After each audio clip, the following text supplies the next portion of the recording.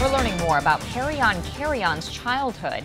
He's one of the teens charged with first degree intentional homicide in the death of 11 year old Anisa Scott, the victim of a drive by shooting off East Washington Avenue in Madison last week. A man who says he briefly mentored Kerryon worried a day like this could come. He tells AJ Bayatpour the death of Anisa Scott and the subsequent arrests demonstrate the role of an entire community in raising a child.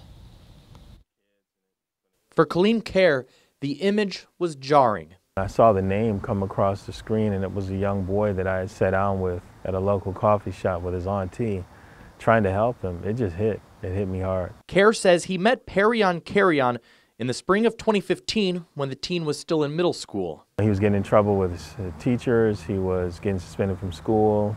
Uh, he was getting into fights with kids. Caire says he briefly mentored Perion but lost touch with his family contact. He was showing the pain and frustration and trauma that he had been going through for almost his entire life. And I said, you know, I could see this happening. In a violent summer where Caire has seen familiar names on arrest reports, this case is especially hard. My head just dropped. And actually, man, I broke out in tears. My kids had to console me because it's frustrating.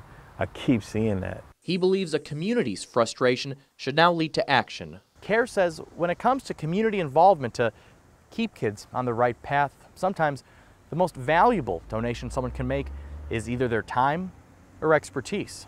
They got to show these kids they love them, man, that they see them. It's not all about the money, it's about the relationship. Caire wishes he could have done more in his brief relationship with Kerryon. In Madison, AJ Bayatpour, 27 News.